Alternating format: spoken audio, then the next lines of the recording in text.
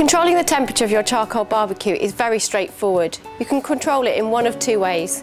You can either control it by the amount of coals that you use or how you actually position the vents. On this occasion we're actually going to be grilling some chicken drumsticks. So first of all I'm going to lay out the coals in the base of my barbecue.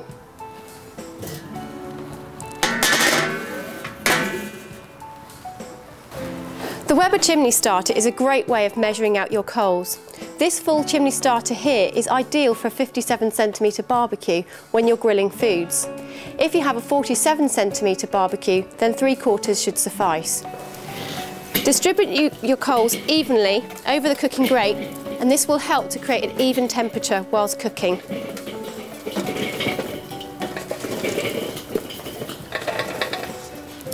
If you have a collection of coals in one place, just use some tongs to position them evenly across the cooking grate.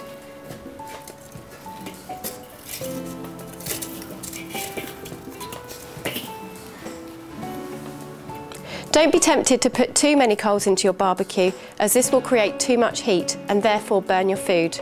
Just one layer of coals will suffice. Once the coals are in place, place the cooking grate on top of the coals and then add the food.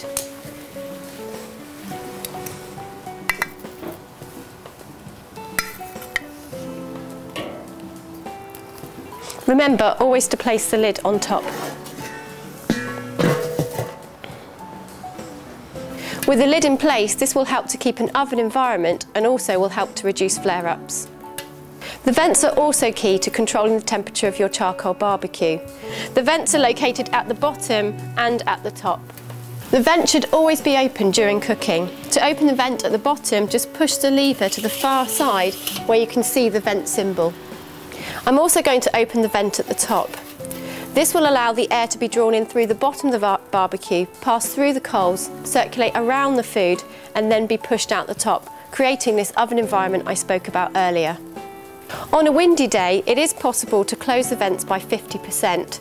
This will restrict the airflow going into the barbecue, therefore reducing the oxygen to the coals and reducing the temperature. Closing the vents to 50% is also great when your food is cooked and can help to keep the food warm.